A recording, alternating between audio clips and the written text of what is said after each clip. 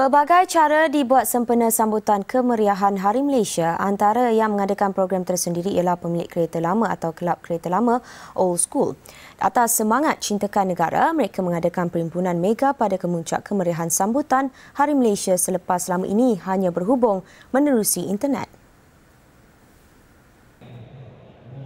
Perhimpunan 651 buah kereta lama ini juga membuktikan semangat keharmonian dan kesepakatan ahli kelab dari berbilang kaum.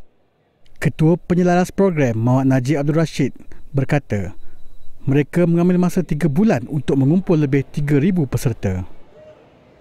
Semangat kita nak tunjukkan yang sepenuh hari Malaysia ni semangat perpaduan kaum yang bukan sahaja yang kita boleh lihat di tempat lain tapi kita boleh guna hobi sebagai apa ni? Uh, hobi sebagai sebagai apa ni uh, sebab untuk kita sama-sama mencintai negara. Dalam pada itu, seorang peminat kereta lama menyatakan hobi itu merupakan faktor penyatuan kaum dalam negara. Hari ini orang boleh menyatukan uh, pelbagai kaum. Uh, maknanya daripada Melayu, Cina, India uh, dan saya rasa ini adalah salah satu perkara yang amat membanggakan lah dari scene Malaysia punya scene eh. Dan saya rasa benda ni perlu diteruskan.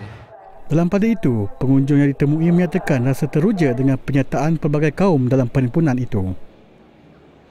I suka kereta-kereta lama sebab dia ada sentimental value dan one of, uh, of my friend pun cakap hari ni ada auto kat sini dan I terus datang sini lah excited sangat nak tengok-tengok kereta lama sebab Tahun ini merupakan perjumpaan tahun keempat selepas Johor, Negeri Sembilan dan Selangor.